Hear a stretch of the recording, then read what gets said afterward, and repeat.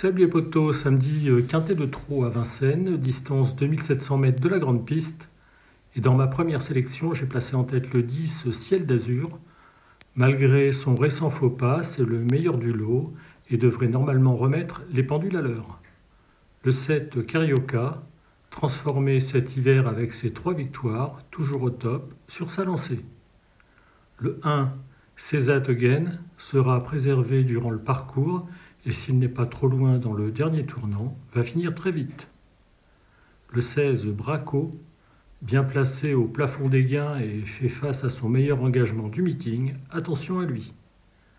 Et mon outsider le 15, Comte de Tité, très régulier et bon deuxième dernièrement, sa place est encore à l'arrivée. Je résume cette première sélection. Le 10, le 7, le 1, le 16 et l'outsider le 15. Deuxième sélection, j'ai placé en tête le 15 Comte d'étité, le 10 Ciel d'Azur, le 7 Carioca, le 5 Cristal du Perche et le 11 Capital Charme. Voilà, à vous de jouer maintenant et je vous dis bonne nuit et à demain pour le coup de cœur et la dernière minute.